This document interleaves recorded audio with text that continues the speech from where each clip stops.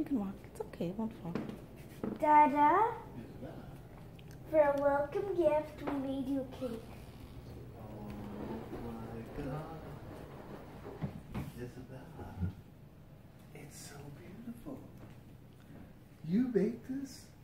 It's She spectacular. did. Make some space for my beautiful cake. Wow, Isabella. It's incredible. Look at it. Can I make a wish and blow out the candles? Could I blow it You could at the same time. Ready? One, two, three. Yay. Isabella, it is so beautiful.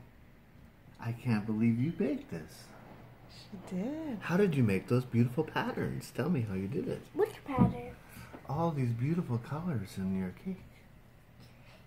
Easy. Just put all the food coloring colors in there and swirled it.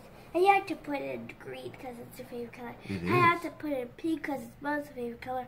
I had to put it in blue because it's my favorite color. And I had to put it in red because it's mom's favorite color. Isabella, this is the most beautiful thing. I can't believe that you were thinking about me enough to spend all this time to make this beautiful cake. This was before this. I started baking this on Saturday. Wow.